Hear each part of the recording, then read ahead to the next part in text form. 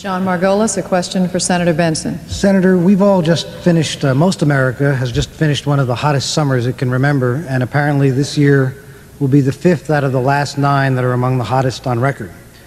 No one knows, but most scientists think that uh, something we're doing, human beings are doing, are exacerbating this problem, and that this could, in a couple of generations, threaten our descendants' comfort and health and perhaps even their existence. As Vice President, what would you urge our government to do to deal with this problem? And specifically as a Texan, could you support a substantial reduction in the use of fossil fuels, which might be necessary down the road? Well, I think what you can do in that one, and which would be very helpful, is to use a lot more natural gas, which burns a lot cleaner. But the greenhouse effect is one that has to be a threat to all of us, and we have to look for alternative sources of fuel, and I've supported that very strongly. Now, the greenhouse effect is an important environmental issue. It is important for us to get the data in to see what alternatives we might have to the fossil fuels and make sure that we know what we're doing. And there are some explorations and things that we can consider in this area. The drought highlighted the problem that we have. And therefore, we need to get on with it. And in a George Bush administration, you can bet that we will. We cannot stick our heads in the sand and pretend that we don't face a global environmental crisis. Nor should we assume that it's going to cost jobs. Quite the contrary.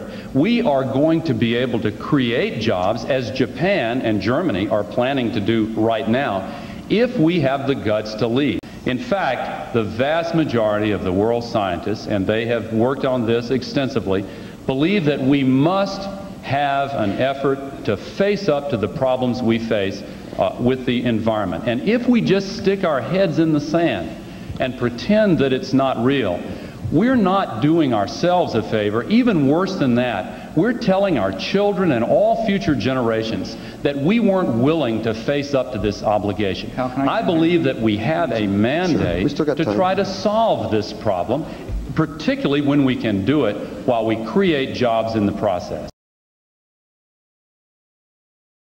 President Bill Clinton will protect our environment and prevent the kind of attacks on it that we saw in the last Congress and that are included in the Republican platform. And so will Bob Dole. I mean, Al, get real. Franklin Roosevelt said in 1932 that the only thing we have to fear is fear itself. The only thing, Jim, they have to offer is fear fear of the environment, fear of the climate, fear, fear of uh, uh, Medicare, fear of uh, Newt, fear of Republicans, fear of Bob, and probably fear of cutting tax rates. They ain't seen nothing yet. Vice President Gore on the environment. In your 1992 book, you said, quote, we must make the rescue of our environment the central organizing principle for civilization, and there must be a wrenching transformation to save the planet. Do you still feel that way? I do. I think that in this 21st century, we will soon uh, uh, see the consequences of uh, what's called global warming.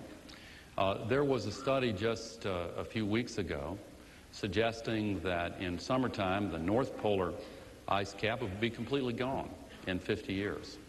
Already, many people see the strange weather conditions that uh, the old timers say they've never seen before in their lifetimes. Uh, and what's happening is the, the level of pollution is increasing significantly.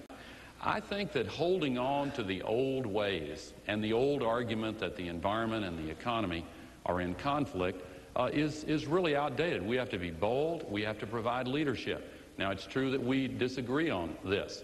Governor said that he doesn't think this problem is necessarily caused by people. What about global warming?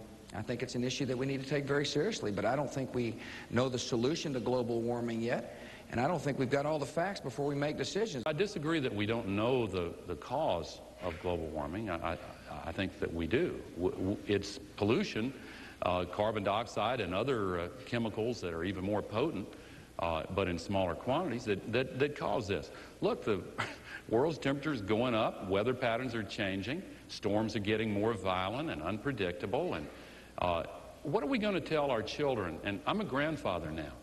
Uh, I, I want to be able to tell my grandson uh, when I'm in, in my later years that I didn't turn away from, from the evidence that showed that we were, we were doing some serious harm.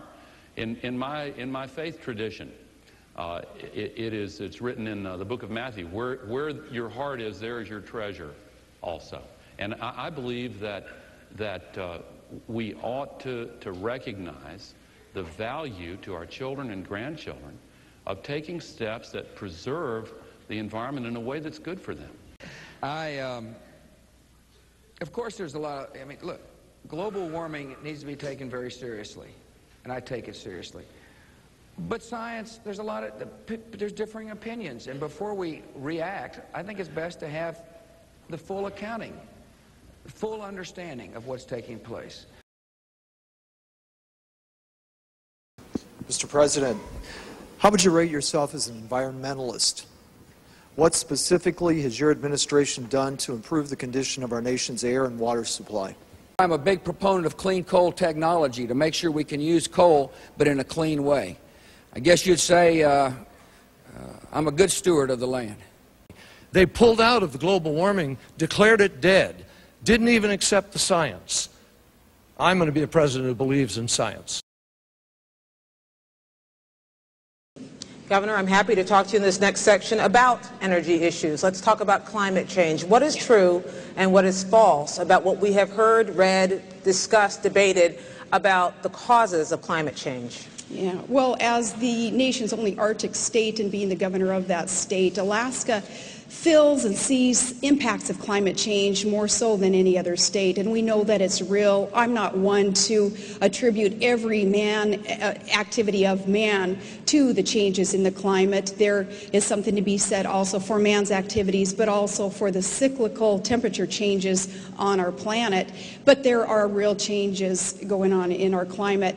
And I don't want to argue about the causes. So even in dealing with climate change, it's all the more reason that we have an all-of-the-above approach, tapping into alternative sources of energy and conserving fuel, conserving our petroleum project, products and our hydrocarbons so that we can clean up this planet and deal with climate change. Senator, what is true and what is false about the causes? Well, I think it is man-made. I think it's clearly man-made. And look, this probably explains the biggest fundamental difference between John McCain and Barack Obama and Sarah Palin and Joe Biden, Governor Palin and Joe Biden. If you don't understand what the cause is, it's virtually impossible to come up with a solution.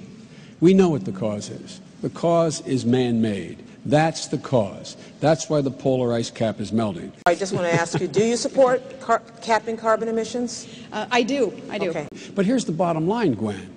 How do we deal with global warming with continued uh, addition to carbon emissions? Senator McCain, I want to know, um, we saw that Congress moved pretty fast in the face of an economic crisis. I want to know what you would do within the first two years to make sure that Congress moves fast as far as environmental issues like climate change and green jobs. That we may hand our children and our grandchildren a damaged planet I have disagreed strongly with the Bush administration on this issue. I traveled all over the world looking at the effects of greenhouse gas emissions. Joe Lieberman and I, and I introduced the first legislation, and we forced votes on it. That's the good news, my friends. Bad news is we lost. But we kept the debate going, and we kept this issue to, to posing to Americans the danger that climate change opposes. Now, how, what's, what's the best way of fixing it? Nuclear power this is one of the biggest challenges of our times. Uh, and it is absolutely critical that we understand this is not just a challenge, it's an opportunity. So it's easy to talk about this stuff during a campaign, but it's important for us to under, understand that it requires a sustained effort from the next president. And we're not going to be able to deal with the climate crisis if our only solution is to use more fossil fuels that create global warming.